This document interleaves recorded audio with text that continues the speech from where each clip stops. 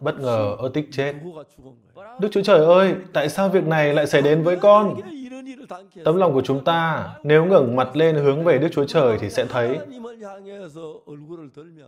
Đức Chúa Trời sẽ giải quyết vấn đề này. Đức Chúa Trời yêu thương mình mà. Tấm lòng của Đức Chúa Trời sẽ cứu sống người này mà trước đây chưa từng có thì sẽ được tạo nên trong tấm lòng của chúng ta. Giờ đây Đức Chúa Trời đang làm cho tấm lòng của anh chị em có thể đối mặt được với bất kỳ vấn đề gì ập đến. Phaolô đã nói một cách dạn dĩ, chớ bối rối, linh hồn còn ở trong người. Dù có vấn đề khó khăn như thế nào, anh chị em cũng tuyệt đối đừng bỏ qua. Nếu chúng ta thử liên kết lại với thế giới suy nghĩ trong tấm lòng mình, thì chúng ta sẽ có tấm lòng rằng Chúa sẽ làm việc trên tôi. Anh chị em đừng nhìn về phía thế gian, mà hãy mở con mắt nhìn Chúa ra một chút. Cho dù bất cứ vấn đề gì xảy ra, hãy thảo luận với Chúa.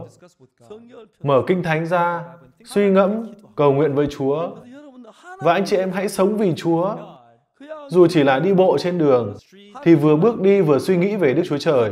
Dù vấn đề gì ập đến, Chúa ơi, tại sao Ngài lại để con gặp vấn đề này? Đức Chúa Trời yêu anh chị em. Anh chị em đừng ngoảnh mặt với tình yêu đó, mà hãy tin vào tình yêu đó.